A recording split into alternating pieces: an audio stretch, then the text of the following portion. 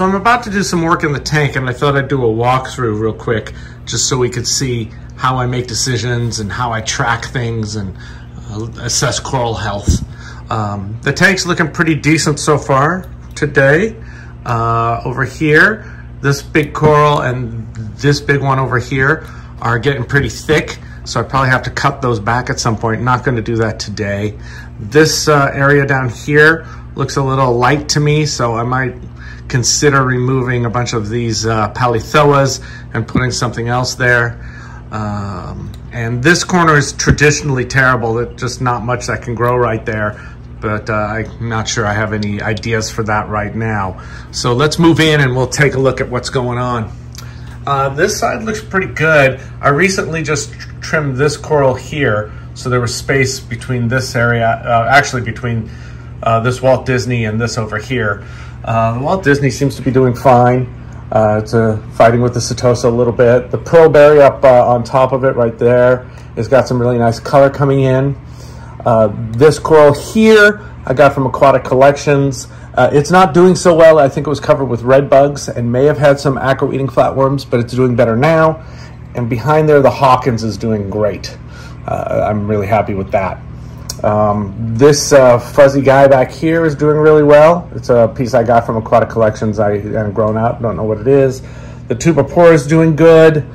This coral here is a coral from um, uh, from Unique Corals. It's uh, from Kwaj, uh, and it's doing very well, and I'm very happy about that because I've been to Kwaj. This back here is one of my pieces of the $500 E-Flow going like gangbusters. Very happy with that. Let's see, what else can I tell you on this side?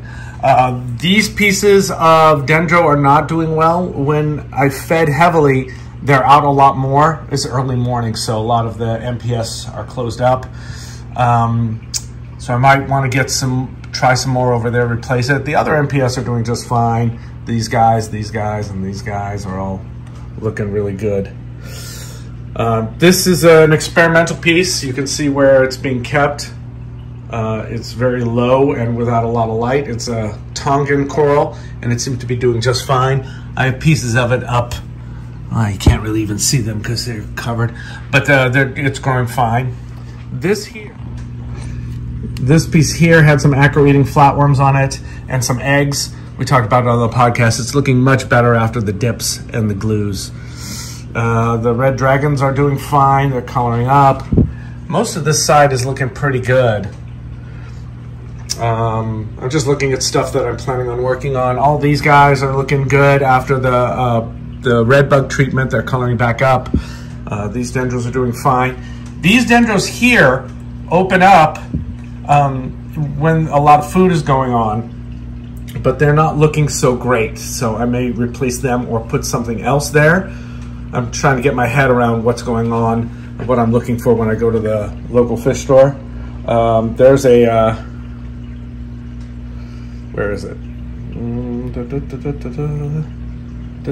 there, there's some feeding tentacles. That's always fun on the candy canes. The candy canes look fine. I gotta blow this piece of, this little bit of sand off. I gotta think about moving this scoli because it's getting overrun by this undata which is growing back into the darkness.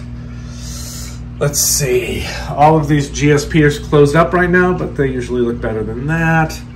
These guys are all looking okay. You know, here's here's some, you know, leftovers from the problem a couple of years ago, but some of the dendros are looking really nice even right now. Um, all of this was dying and it seems to be coming back very nicely.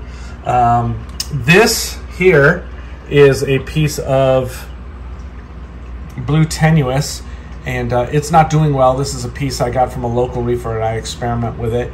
Uh, I put another piece of it right there. and It is also not doing well. It's losing tissue. But that's the only corals that are losing tissue in the whole system, so I don't really care. I'm not really worried about that at all. Um, here's that corner of the tank where nothing can really happen. Here's that area of the tank with the um, with the pallies that I'm not happiest with but it's not terrible either. Uh, so I don't mind. there is, if we come over here, you can see this watermelon chalice is buried and is getting stung. Uh, so I'm probably gonna pop that off and move that. I have a spot for it all the way on the other side of the tank, I think right in here. A lot of these pallies that are in there um, are just kind of brown pallies and I'll just take a piece of uh, shelf rock and drop it in there and put the uh, put the watermelon chalice on top of it. Uh, this stuff's looking good. Oh, here's a, let's see if we can get this on camera. No, it's not really showing. But, oh, there you go. You can see problem with a, uh, a vermetid snail. I'll have to track down where that's coming from. It looks like it's coming from right there. So that actually might be a nice uh, way to nail it with a laser, but we'll see. So much easier just to crush it. But it may also be coming from in there. Um, all of this back here is doing just fine. I'm not going to do anything back there. Uh, I'm keeping an eye out on a couple of uh, Majanos in this back corner here. Um, I, I, don't see any. I, I, went through twice and hit them with apoptasia, and they're going, they seem to be just fine. Um, they seem gone. This coral I love. This I got from Australia about three years ago. Not sure what it is. I've got some more of it over here. This big piece of it in the middle. Uh, and it's kind of gorgeous, I think. Uh, it's got some really nice dots um, on the polyps. So I guess that's really about it. Mm, oh, I might move this as well or get some more. This is a blue zoanthid. I might get a few more to put right there as well. But uh, otherwise, you know, everything's doing just fine. Not much of a reason to do more to the tank than, uh, than you need to do. So the main things I'm doing, just for myself, I'm moving this chalice over to here. I'm gonna find this vermetid snail and uh, I'll add whatever new stuff I get, which is probably gonna be in this area here. That'll probably be it. So thanks for watching. That's how I assess what needs to be done in the tank on an ongoing basis.